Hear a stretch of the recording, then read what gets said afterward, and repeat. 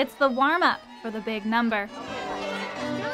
But the waiting is the hardest part. I feel excited. Like right now, I'm like jumpy. That's why I'm all jumpy right now.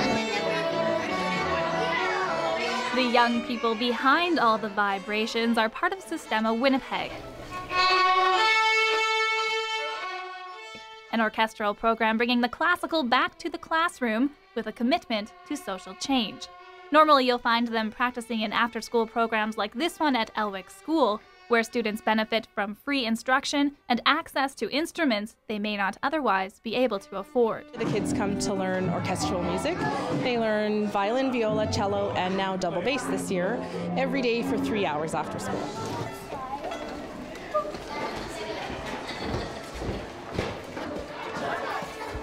All that hard work is about to pay off as they make their way to the stage at the West End Cultural Centre for All Strings Considered. They'll share the stage with four other string ensembles, as well as Marie Claude McDonald, who is up for a Juno for Children's Album of the Year. It's another opportunity to inspire some already good decisions when it comes to music.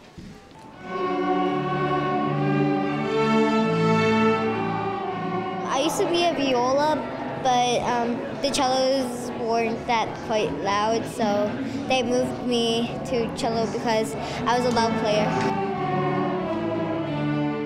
I like the violin because the violin and cello, the viola and cello have a C string, but violin has an E string. And then all of those strings come together, for the most part.